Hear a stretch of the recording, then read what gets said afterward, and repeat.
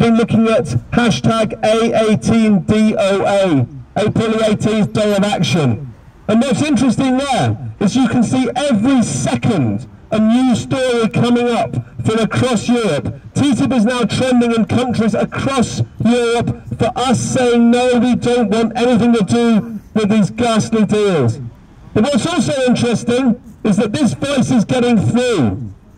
The European Trade Commissioner, Cecilia Malmström, she's also come out and she's also been tweeting back at us saying, I'm so glad there's going to be this frank debate. And she wants it to be based on facts, not myths. Well, here are some facts, Cecilia Malmström. I don't think you're very good at recognising facts when they come up to, to see you. First fact, the people of Europe want nothing to do with your trade policy. We want nothing to do with TTIP. We want nothing to do with the EU-Canada deal, CETA. And we want nothing to do with the Trade and Services Agreement, TISA. So your entire policy is completely against our wishes. And she knows this. We met with her. Three of us met with the head of the European Commission's trade team back in February. And we said, look at your consultation on the most outrageous bit of TTIP, the investor-state dispute settlement mechanism, where US corporations will get the unique right to be able to sue us in corporate courts when they feel their profits are under threat. And we said to her, you did the consultation, you got 150,000 responses, and all of them said we don't want ISDS and we don't want TTIP. In fact, the only ones which didn't say that were your puppet masters, the corporate lobbyists in Brussels, and there's only a couple of hundred of them. So what do you say to that fact, Cecilia Malmström? And what did she say to us? She replied, I don't take my mandates from the European people. It doesn't make any difference how many of you say no. I take my mandate from the business and the political elites.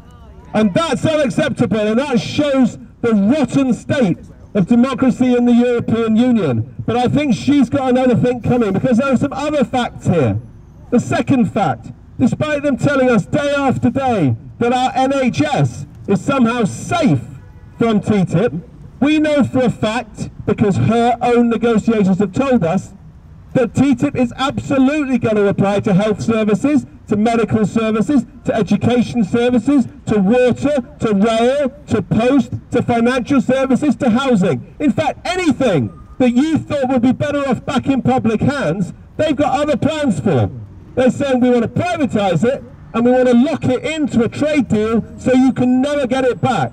So the second fact is we reject your privatisation of our public services. We want it back in public hands and for the public good.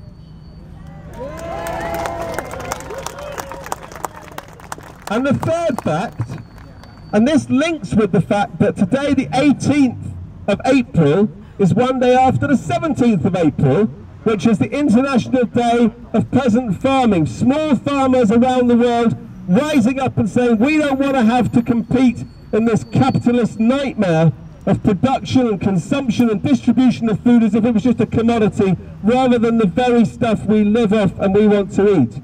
And so that's why also we're saying today, get your hands off our food standards. Because we have seen that TTIP is a direct threat to our food standards.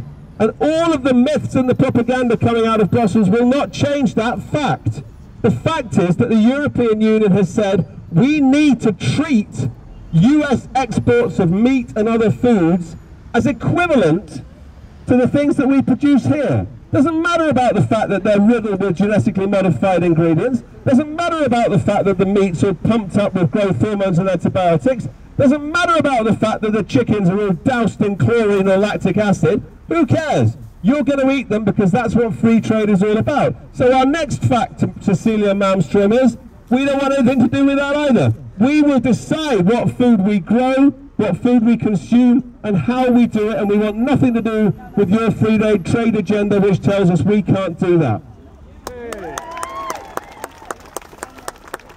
But the final reason, the final reason that we're here today on the 18th of April is because on the 22nd it's Earth Day.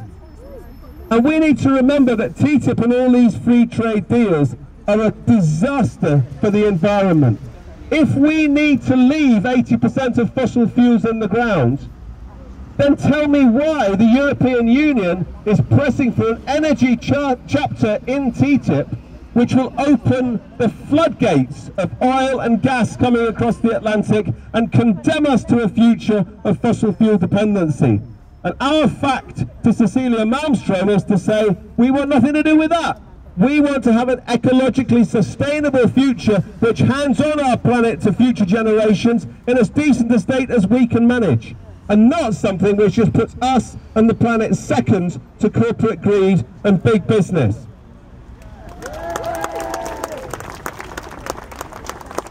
So I'm really pleased that we're here and that we are saying no to TTIP, no to CETA, no to TISA, no to the whole range of these vile acronyms across the world. But we're here in a political moment as well. We're here just in front of the general election in this country.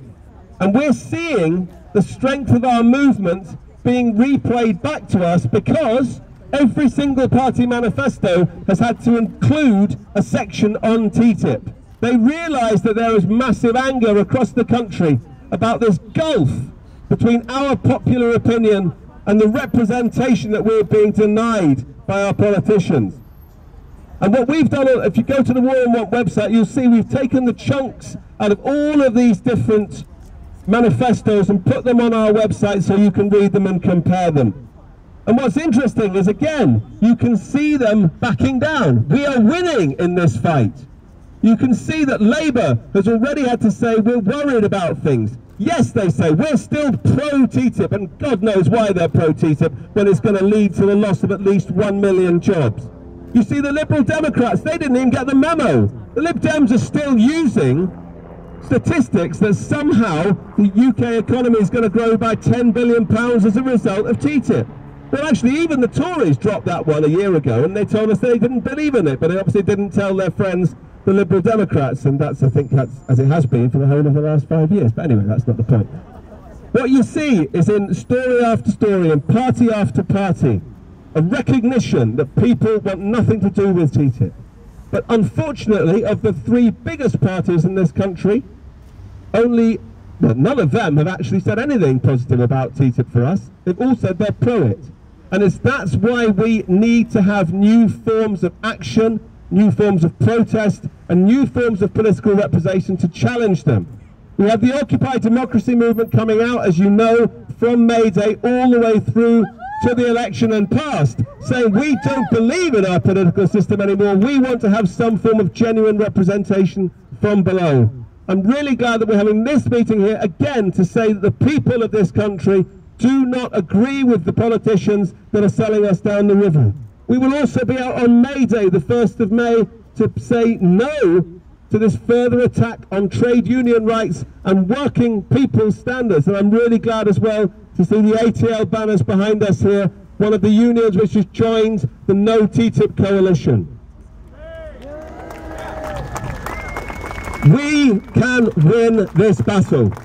We can win this battle because we've won before. We've fought off these same powers in the 90s when they tried to introduce them through the multilateral agreement on investment. We fought them off in the noughties when they tried to bring them back through the World Trade Organization. Every time we fought back, we have won. But we can only do that when we maintain this strong, vibrant, cross-national movement of dissent and resistance. I'm really thrilled to be here today. Together we will win this battle. Let's stay strong. Thank you.